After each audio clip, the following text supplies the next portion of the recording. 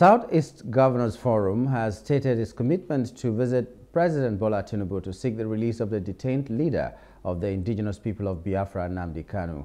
The forum, which comprised Governors Hope Uzodimma of Imo State, Alex Otti of Abia State, Chukwuma Soludo, Anambra, Francis Nwifuru, Ebonyi, and Peter of Enugu, met on Tuesday during a meeting held in Enugu State.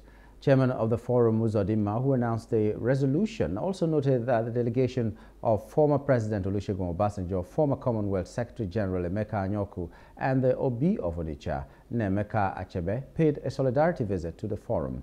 Uzodimma stated that about the Security and Economic Summit held in Owerri, the Imo State capital, on September 28, 2023, the forum had agreed to implement the aspects of the report pertaining to security and economic integration and affirmed its desire to put actionable plans on the key issues agreed. deliberated on the reviewed report of the Southeast Security and Economic Summit held in Owerri on the 28th September 2023 and agreed to implement the aspects of the report pertaining to security and economic integration of the region and affirmed its desire to put actionable plans on the key issues agreed. The forum resolved to visit Mr. President to discuss the pressing issues all pressing issues concerning the Southeast region.